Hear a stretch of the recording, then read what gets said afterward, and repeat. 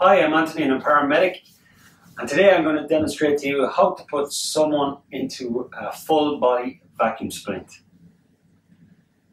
For the purpose of the demonstration, we've placed our patient onto the vacuum splint using a scoop stretcher. The first thing we need to do is remove that scoop stretcher. We then need to strap the patient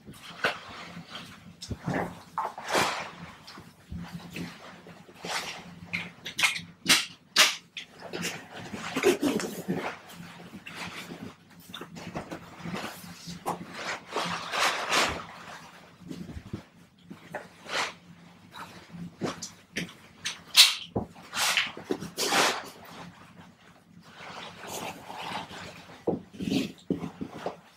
we strap at the chest, the hips and the legs before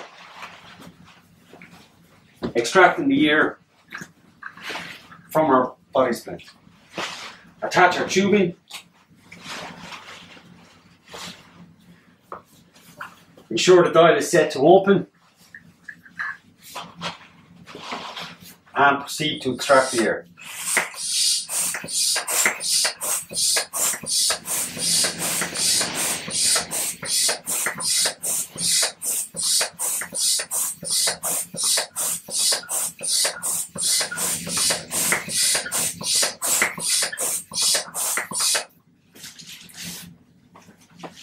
The device will harden up around the patient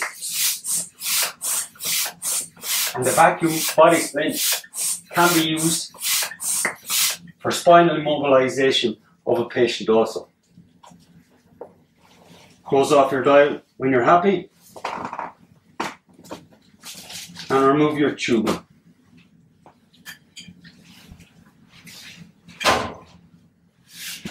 Ensure all strapping is tucked away.